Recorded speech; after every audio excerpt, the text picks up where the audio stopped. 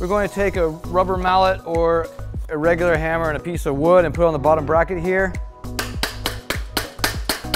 We're just gonna bang on it like that until it falls out.